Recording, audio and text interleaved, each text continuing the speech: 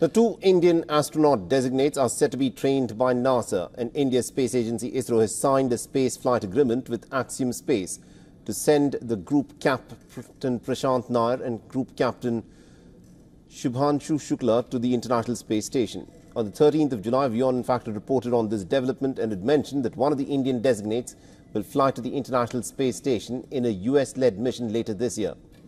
ISRO has recommended Shukla to be the prime mission pilot with Nair serving as the backup.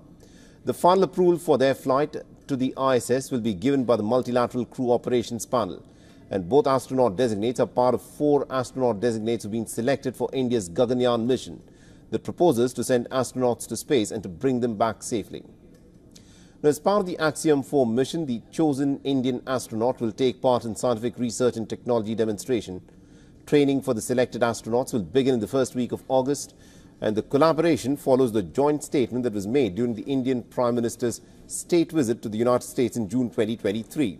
This was when the two nations had envisioned a joint ISRO-NASA effort on the ISS.